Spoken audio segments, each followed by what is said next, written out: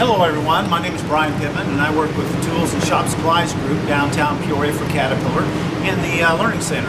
And today I want to talk about a couple of our new products. Uh, these torque wrenches uh, come in two, two sizes. One of them's a 3 8 which I have right here, part number 3846821.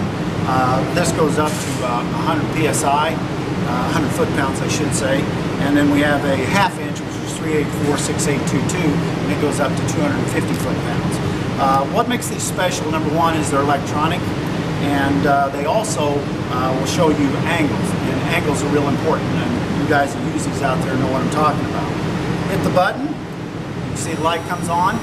The first thing it does is orientate itself to whatever degrees, like this one set on 185 degree on the angle, and then when you can, you can uh, push your buttons, and you can scroll down through, and you can set it on. It'll set for foot-pounds, It'll set for inch pounds. Uh, actually, you can set the angle, centimeters, uh, and KPAs, newton meters.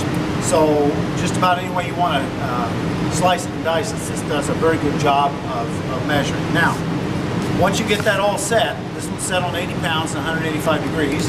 Take a wrench, put it on, bring it down until it gets to the point where it buzzes. You can feel it buzz and it flashes and it beeps to let you know three different ways that you know you're at 80, uh, 80 pounds and then you're done.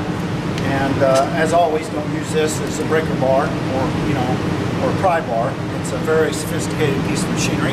Uh, we do offer a year warranty on this. And like I said before, uh, those are your two part numbers on the half inch and the uh, 3 8 inch.